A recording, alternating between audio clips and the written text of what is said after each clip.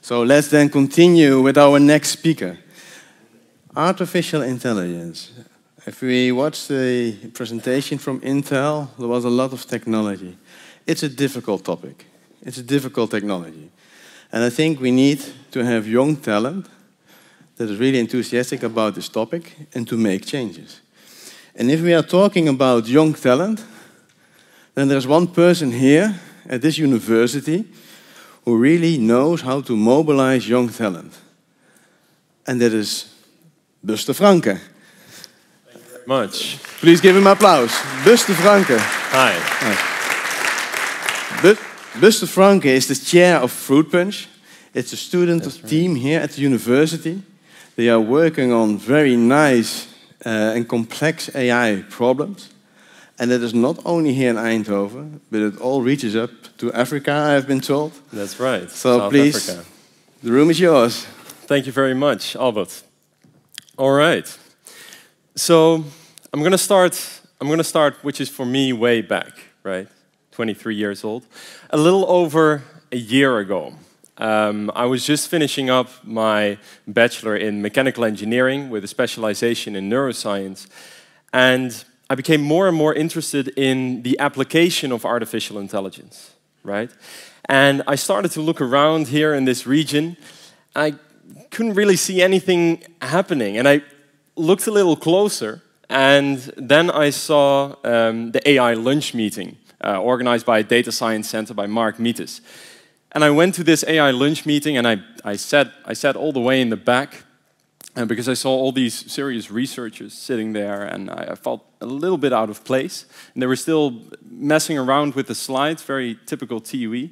And, uh, and when they started to talk, they completely perplexed me with the amazing applications of AI that were already happening at these universities, that were the, the amazing research that was already being done, but also with how up until now, I didn't know anything about this. And it didn't really seem to, to be going on within the student community at all.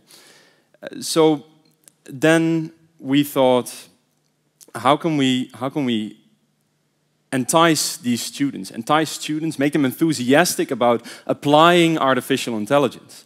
So we thought, what do, what do tech nerds like? What do tech nerds like us like? We like to play video games.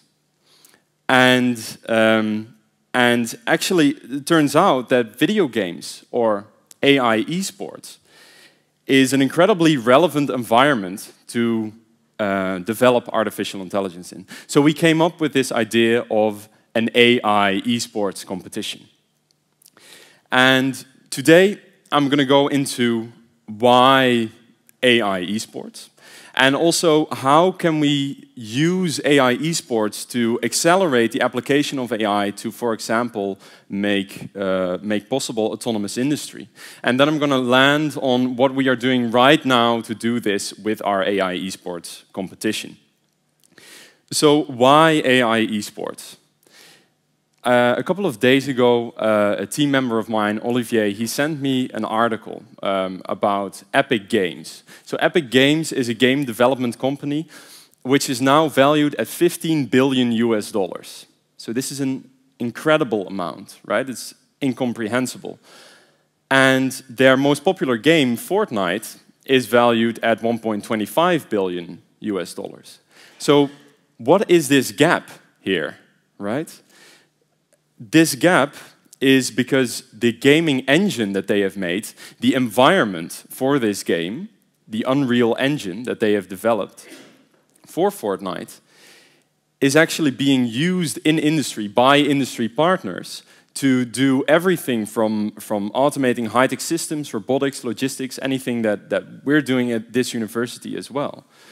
So this is incredibly interesting, of course, and and if we, if we start to look at, when we start to look into, um, into AI applied to video games, we found out that it's actually got a very long history of, of pushing the cutting edge of artificial intelligence. So it started all the way back in the 1950s together with really the naming of AI. And very famously, of course, Deep Blue beat the grandmaster in chess, Kasparov, in, in a game of chess. And when we look at these game environments, it's, it's, it's really pretty logical that this is being used to, uh, to push AI development because what is a game environment? It's just an environment in which we simulate uh, uh, some kind of real world problem um, for, well, for the entertainment of people very often, but also now for the training of artificial intelligence. So when we really, uh, when, we, when we speed up to the current day, we see that Google DeepMind is applying, so Google is going to give a talk right after me, Google DeepMind is applying uh, uh, AI and putting the, pushing the cutting edge by uh, beating the world's best StarCraft 2 players. And for example, OpenAI is uh, building their own games to, to see how far they can go in developing autonomous uh, deep reinforcement learning agents in, for example, their uh, hide and seek project. And what we see is that, is that uh, these game environments are an incredibly powerful tool to, uh, to develop AI directly and indirectly. So an example of how it's happening, happening directly is with uh, Grand Theft Auto 5. So who here knows Grand Theft Auto 5, a video game? Okay, that's not enough. That, that, that's enough. I'm gonna, no, no, no. That's enough. Uh, I'm not gonna explain the video game. It's just, it's just, you can drive around in cars, right? It's pretty, pretty realistic. And, um, and they're actually using it in, in universities, in research universities, to train models for autonomous driving. So this is incredibly interesting, right? And uh, so this is an example of, um, of Deep Drive by Uber, uh, of their research into autonomous driving. And indirectly, it's, it's advancing the field, uh, for example, with the example that I uh, made with Google DeepMind on StarCraft 2, the architectures and the knowledge that they did up in that project, they are now applying to, um, to uh, detect eye disease right? So this is directly into healthcare in their collaboration with, with Google Health. So again, extremely relevant, directly and indirect, uh, ex really acceleration of this field. And so, like I said, when we started to look more and more into this, it turned out that it's not only an incredibly interesting environment for students to apply their skills in, it's also a really relevant environment for real-world engineering problems and for pushing the cutting edge of AI.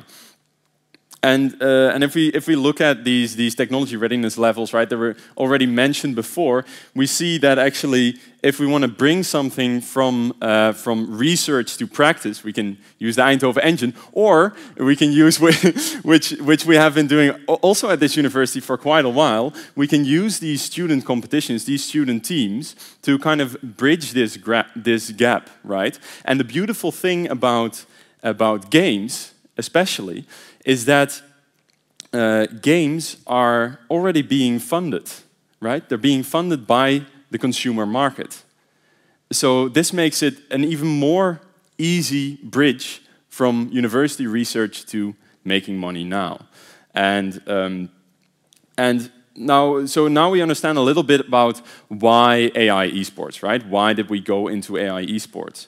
But now how is AI esports then going to accelerate something like autonomous industry? So I'm just going to take a very, very concrete example um, of, uh, of something that popped up quite early eh, on our radar when we were researching it. Um, firstly, why is autonomous industry so important, right? So for this, we need to go way back to, to the beginning of the Industrial Revolution. So of course, we in the West became very prosperous because of the Industrial Revolution. And when our wages, because of this, started to go up, our industry moved for a large part to lower income countries again, to uh, countries in Asia and in uh, South America. And and again, of course, there the same thing happened, and now their middle class is growing, and this will have the effect that our products here are going to become more expensive. And not only that, once that happens, we have also lost our industry to, uh, to overseas. So what if we can use artificial intelligence to bring industry back in the form of autonomous industry, back to Europe? Now, this will not only have this economic advantage, but it will also have a huge environmental advantage. So this is not maybe the most logical step, but if you look into it, you see that, uh, that not only will we be able to have these companies abide by our environmental laws way better, um, also these, these uh, long distance uh, freight ships that are burning this, this tar-like oil um, are actually, uh, they actually account for almost 3% of the total CO2 production of humankind, which means that our need for, for, for, this, for this global economy where we have projects shipped in from, from Asia all the time accounts for, for 3% just only on these container ships, just taking away the industry on itself uh, as well. So now we get a little bit of a picture of why uh, autonomous industry is so important. And now, how are we going to how are we going to move in this direction? Now, if we want to make this possible, autonomous industry, then we need a safe environment with inexpensive prototyping and preferably, of course, faster than real time. So what is safe, inexpensive, and faster than real time? That's again video games. So you're starting to you're starting to catch my drift here, right? So of course, video games is simulation not that far off, but but these uh, these video games are going to come back in uh, the competition that we organize. So we, um, when we wanted to develop our game for this competition, we found out that actually Unity, uh, a very good platform for game development, had a very good uh, integration in which you can basically more easily connect uh, your AI agent to their environment. And also, 60% of the revenue from Unity is already coming from industry partners. And why? Because they are doing exactly this. They are simulating whole factory floors, right? Companies are using this Unity environment, Unity 3D, to simulate entire factory floors, to have people step in in VR, interact with the equipment, even automate certain parts and, uh, and do experimentation. So we decided to go for this game environment um, uh, th this industrial-like game environment using this platform that is already incredibly relevant for, um, for uh, autonomous industry, for the advent of uh, Industry 4.0, but also looking farther than that. But now, how are we going to educate this next generation of AI engineers that is going to have knowledge of, like Frank said, of electrical engineering, mechanical engineering, robotic systems, but also of these AI technologies. Now, if you're feeling my drift here, if you're feeling the theme of my presentation, that you know that what I'm going to say is games, an AI esports competition, right? So this is why we are organizing this AI esports competition. To really bring together students from all over the world student teams from all over the world and have them compete in this environment. Really playfully, almost unbeknownst to them, learning about AI, learning about how to apply AI in these environments that they are going to work on themselves in the future. So let's come way down to earth. What are we doing right now to make this possible? So this game environment, this year, in the, in, this, uh, in the past summer, our development and technology team worked on creating a game environment which is called Isaac's Labyrinth.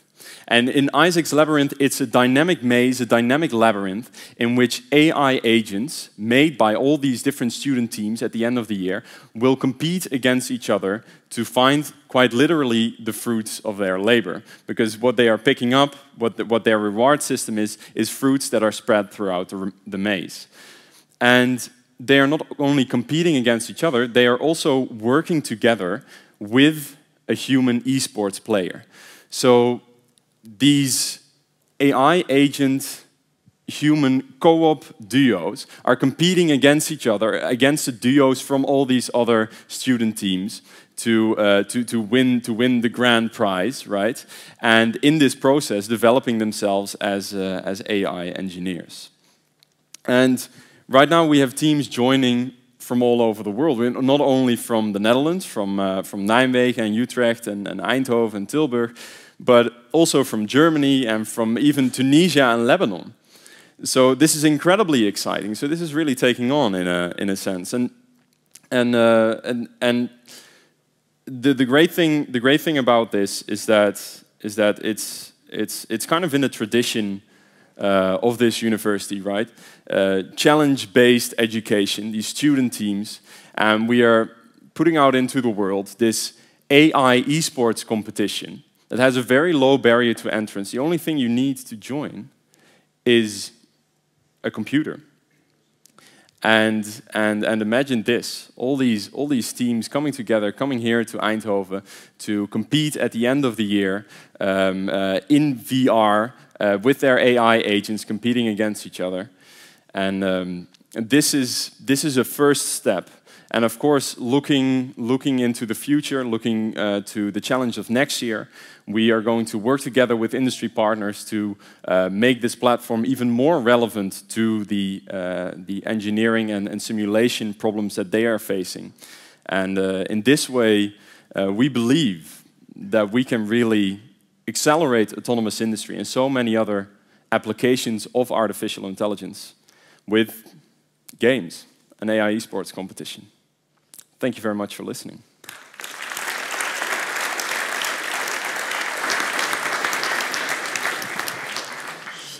the catch box. Buster, uh, thank you. Other questions? Anything goes. Questions? Could also be what was this game you were talking about? can you tell a little bit how the teams actually can program their AI uh, around that game? Yeah, so, so, so this game that we have developed um, we are we are shipping it as a game, right? So we are shipping it as as software, and uh, they can just download it from the website, and uh, they can use this this uh, the tools that Unity provides to interface with uh, with AI brains, AI agents, so to say, that they have built, um, and they can do this at home anywhere anywhere in the world. And uh, but then the, the cool thing is that at the end of the year, of course, they come together to really compete uh, real, real in real time. But it's it's just a software package that we send out, and we provide a little bit more of uh, of an infrastructure, right? We provide master classes, we provide an online platform uh, which we use to connect all these teams, and uh, we try to connect them to to knowledge partners.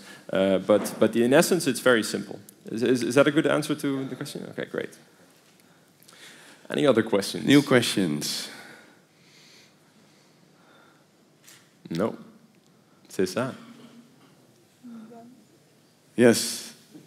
In the middle. Oh. Hi. So I think uh, this is a very nice uh, platform for uh, new AI engineers to share and collaborate. So are there any initiatives in place to, you know, open source these agents and so on, so others can benefit from this? Yeah, definitely. So, so the idea is kind of it, it, it's uh, really inspired by a lot that's happening at this university. So, um, uh, the, we were really inspired by the RoboCup, and they also open source everything that happens every year, so that the next generation of teams, but also of course industry, can benefit from this and can build upon that again. So everything will be open sourced at the end of the competition, right? Because there there has to be a little bit of competition to to, to get to get people's fire going. But uh, yes, everything will be open sourced. Yeah. Is there another question? Yes. Ah. You can just throw it, yeah. Whoops. Oh, perfect. um, uh, interesting presentation and a really interesting competition. I think uh, good initiative. I'm I'm really curious. Um, so you say uh, at, at, the beginning of your uh, talk, you said something about uh, the industry, yeah? how this will benefit industry. So what is the theme of the game, and how does that relate to industry, in in your opinion?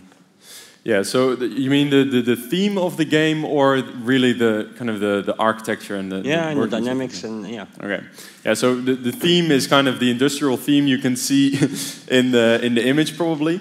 And uh, so it's it's partly symbolic um, and uh, and kind of um, I mean, what the AI agent is doing in the game is, uh, is navigating through a 3D environment, working together with a human esports player. Um, uh, but like I said, if we want to make this uh, a really relevant really re relevant for industry, we need to take the next step and, and develop a game that has some direct elements from partners. So this is the first, first time that we, are, uh, that we are developing this game and organizing this competition. And, uh, and in the coming year, we really want to take some, uh, make some direct links with industry to, um, to make this game even more relevant. So right now, it's really a, a platform to, uh, to uh, educate the AI engineers of the future, mostly. Yeah. Uh, I saw a question. Okay. Similar question. okay. Are there any new questions? Yes, over there. The corridor. Ah, we're getting the hang of it. So um, uh, when AI uh, plays games, it, uh, it's uh, if they're smart enough, then they're typically able to find bugs in your, your own game and exploit them. Yeah, yeah, yeah, Are you at all worried about that, or is that part of your expectation? well, I mean, it is. It is definitely. Well, I don't know if, if we have to expect it, but it's definitely. Uh, this is definitely really cool because I showed the example of uh, of OpenAI, and I know that they. So these these uh, these reinforcement learning is essentially a trial and error, right? So, so what happens is that if you play a lot of games, what you mean is, what he's saying is that um, uh, it can find certain certain bugs or quirks in in kind of how you didn't uh, develop the environment well enough, and it glitches through a wall, and then it wins. Uh, I mean, stuff like that can happen. Of course, that's not the idea. That's why we have somewhat of a rule book. Uh, but uh, but we don't want to hamper uh, the creativity of the of the AI, so to say. So if there are things like the OpenAI ramp exploitation, like getting it out of the environment, that's that's we're just going to leave that in. We're just going to uh, roll with the punches, uh, I guess. Yeah, that's part of the fun, I think. Yeah. Maybe a final question for Buster. No final questions? Then let's thank Buster. All right. Thank you very much. Also for you, a small present. Thank you. A short history of AI. All right. And write oh, your good. own history now. Yeah. And add it to the book. Do, we'll do. Thank you so much. That's very thoughtful.